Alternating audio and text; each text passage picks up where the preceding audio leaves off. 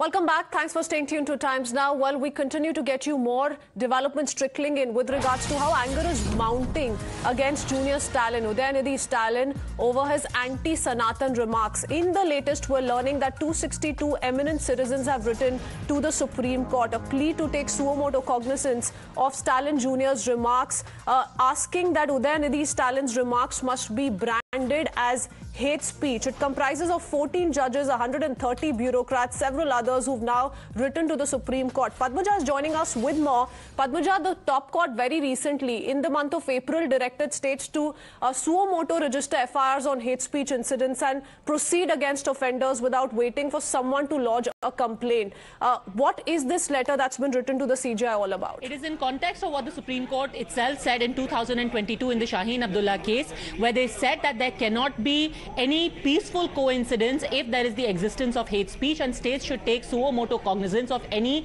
article of hate speech. It is in that context that now 262 citizens of India, including former judges, former bureaucrats, former uh, uh, veterans, have now written a letter saying that if the government of Tamil Nadu does not take suo moto cognizance of what has been said against Sanatan Dharm, then that would be tantamount to contempt of court. Remember, this is in light of yesterday two separate delegations, one in Delhi going to the resident commissioner of Tamil Nadu, submitting uh, uh, uh, submitting a memorandum saying that action should be taken, and another where they had gone in Tamil Nadu to the governor demanding action. Back to you. Okay, many thanks for that, Padmaja. Let me quickly go across to Dharani as well. Dharani, all of these developments taking place and, uh, you know, uh, more and more anger really mounting against Udhayanidhi Stalin. But as far as uh, the leader is concerned, the DMK Neta is concerned, he has come out with one clarification after the other. And in the latest, he says, I wasn't just referring to the Hindu Dharma or Sanatan Dharma, I was speaking about all religions.